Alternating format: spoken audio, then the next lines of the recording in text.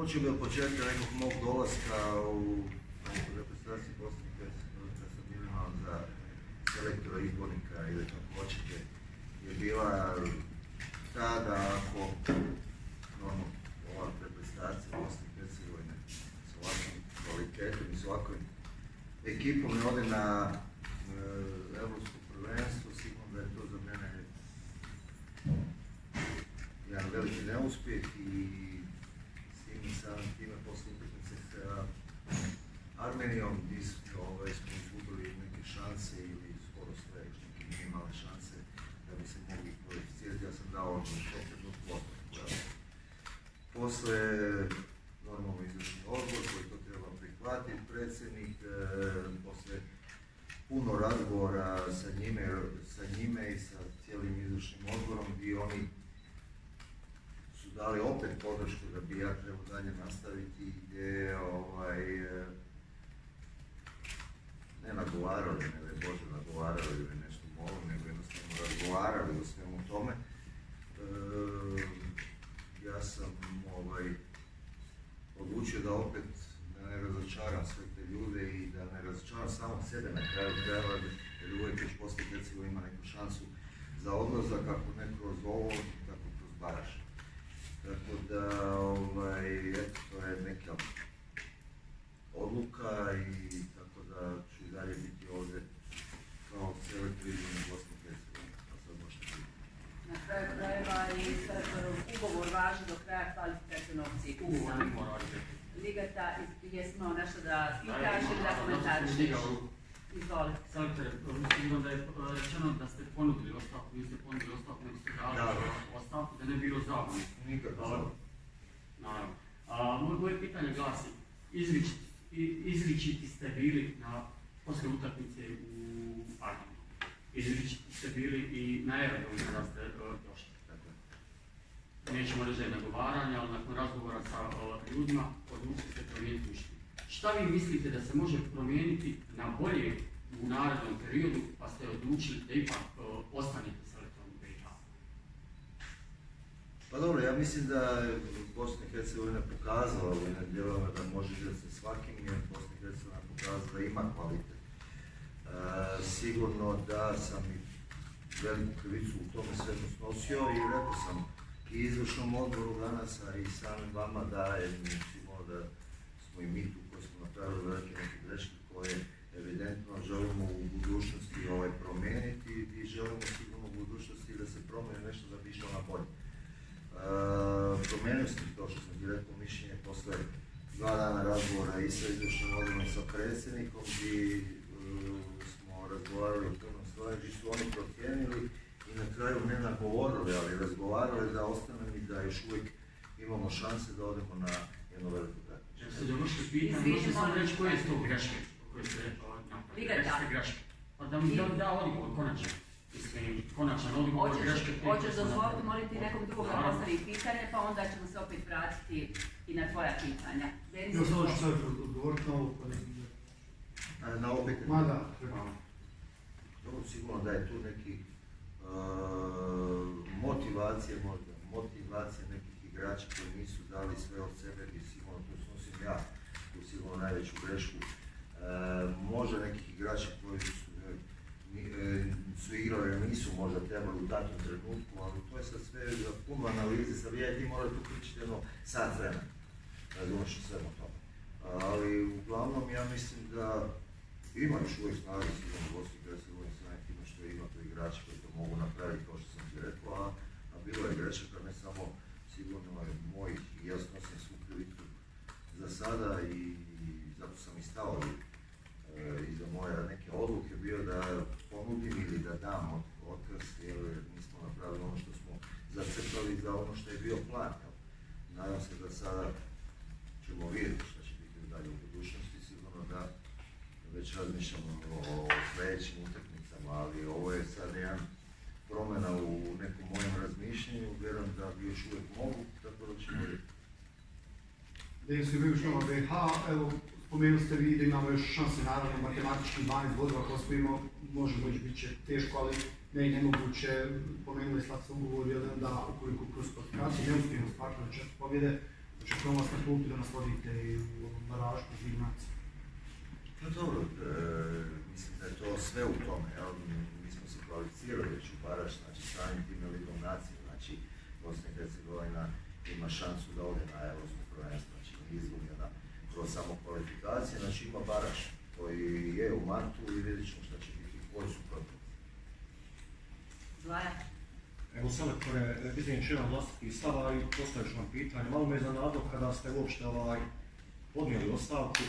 E, Možete li mi, e, smatram da ne biste trebali to uraditi, ali već niste, E, recite mi ovaj, šta vas je zapravo navjelo na takvu odluku, mislim, neočekivana je pomalo bila iskreno.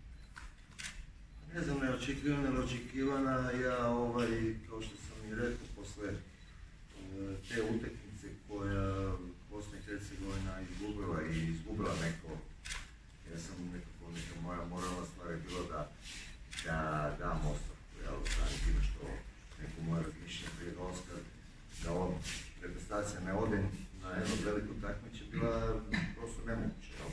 Tako da, eto, to ti je to, i samo radi toga, mislim da ekipa nije izgledala kako treba, e, ustaje sve neke šanse koje ona imala, čak i imala, čak i dala dva gola, čak smo bili negdje u jednom trenutku čak i blizu, nije izgledalo onako kao što je izgledalo kroz Ligu nacije, možda ne, e, možda ne nekom super igrom, ali s jednom jednom borbenošću, sa, sa kako mi kažemo, žargonski bacanjem glave, znači svih igrača, gdje smo osjećali to e, sasvim nekako drugačije nego kroz ove e, kvalifikacije, kroz e, grupu, evo, ne možemo mi reći da nismo odigrali dobrih utakmica, da se sjetimo Italije i svega toga, ali nije bilo više tog naboja kao što je bilo kroz ovih e, Lige nacije.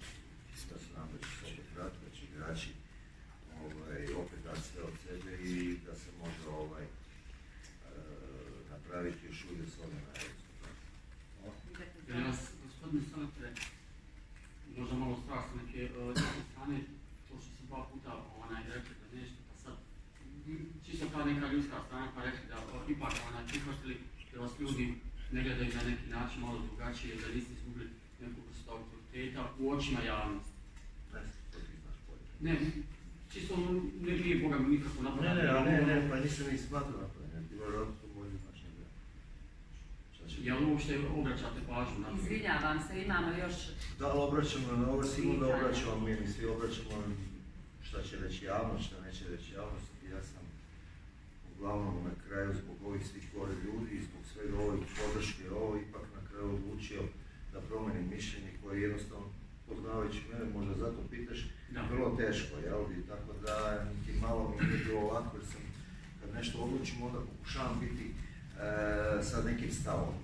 Nekad se to menja, u ovom trenutku sam promijenio samim time što sam ti rekao i zbog ovih svih ljudi, a ostalo na kraju krajeva ovaj, e, biti bilo je najlakše poveći, jer je to gotovo, tako da nagovor i ne nagovor, ja sam ipak ovaj, odlučio da još sam do kraja, pa da vidimo da se to može promijeniti, ja se nadam da može. Sam vam pustio pričenje na televiziji.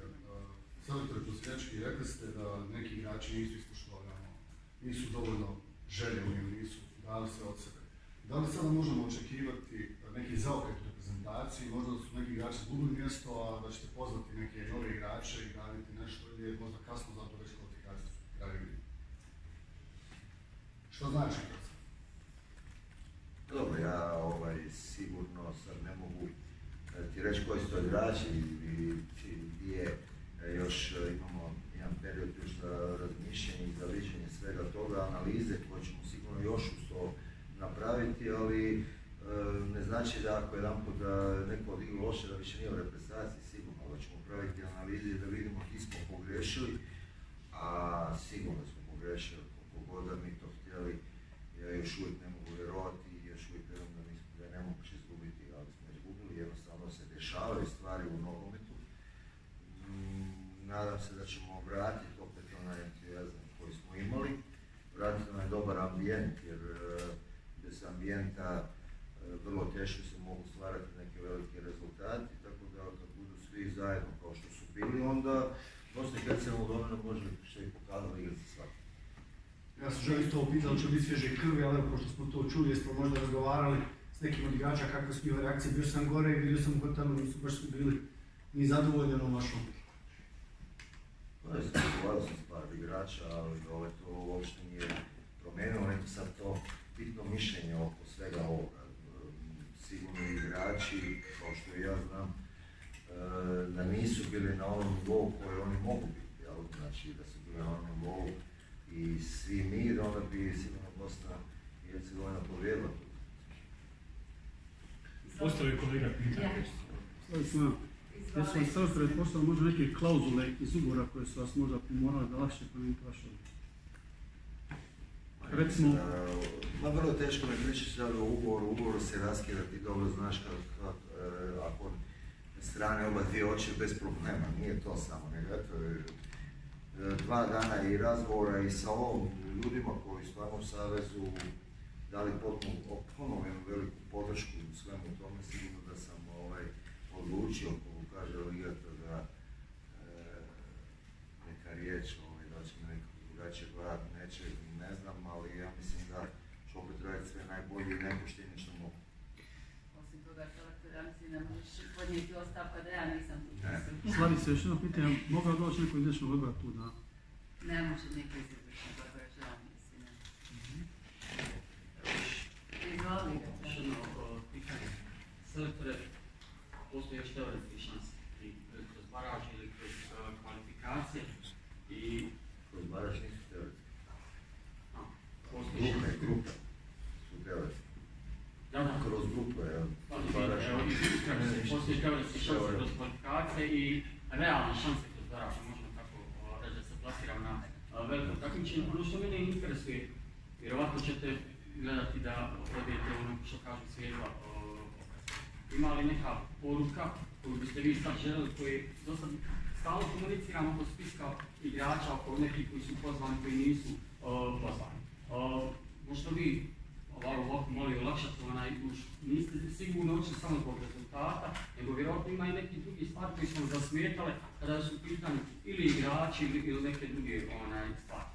Interesuje da li je zaista samo razlog e, taj poraz od Armenije, o, zato što ste donijeli tu odluku, jer mi se ne čini da ste je donijeli preko noći, odnosno preko onog onog trenutka kada je završena utakmica. Ispravite me ako se varam. Samo me interesuje da li imate nešto što leži, što ste razgovarali iskreno sa ljudima iz izvršnog odbora i da li će se s te strane neke stvari promijeniti o, prema vama ili prema igračima ili.